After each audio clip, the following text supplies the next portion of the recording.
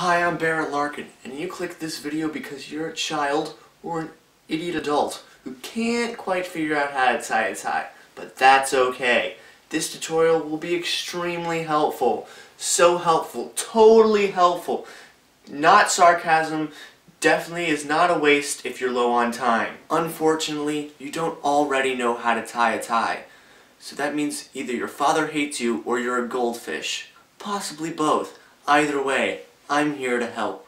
There are many different ways to tie a tie, including but not limited to the Windsor knot, the half Windsor knot, the quarter Windsor knot, the Eldredge knot, the Atlantic knot, the South Pacific knot, the Balthus knot, the four in hand knot, the five in hand knot, the presidential knot, the believe it or not, the cool knot, the Manhattan knot, the Brooklyn knot. No, I swear, it's tied. And what you're wearing right now, not a knot.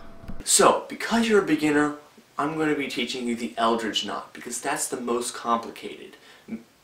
If you can do that, then you can do anything, making it perfect for beginners.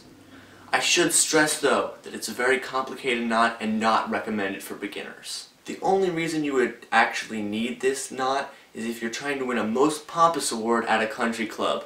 Even then, most people will look at you and think you're an idiot. Except, of course, for the people who have tried to tie the tie before. They'll know you're an idiot. To tie it, just follow along with me. Do the opposite of a normal tie and go little over big. Cross over and loop around. Then cross over again and do a triple reverse loop. Then do a kick, flip, a backspin, a 50-50 grind, and an ollie all the way to the underground. Simply cross over, pull into the loop you created, then put your right hand in, put your right hand out, then put your right hand in and shake it all about. Hit the dab, nae nae the quan, and whip the red-headed stepchild. I don't even know what the next step is, just, just make it up.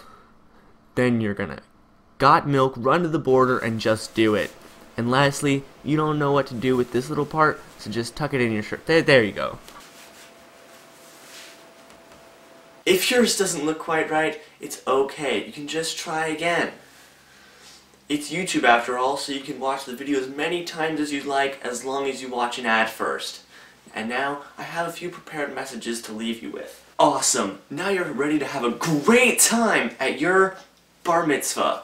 Awesome! Now you're ready to have a great time at your wedding. Awesome! Now you're ready to have a great time at your funeral?